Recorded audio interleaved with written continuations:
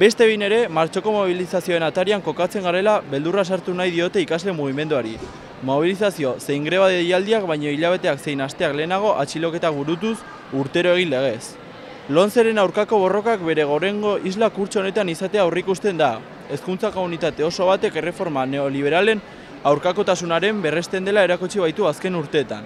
Murrizketa estatalak geldiarazteko beharrezkoak diren borroka piztuaz. Atxiloketa hauen aurrean azken urteetan burututako borroketan berresten gara. Greba zein besteletako mobilizazioen bitartez, egungo sistema kapitalista patriarkalaren ezugunetako aurkakotasuna adieraziz. Eta euren aurrean Euskal Eskola Nazionala aldarrikatuz. Herritik eta herriarentzat eraikia izanen den hezkuntza.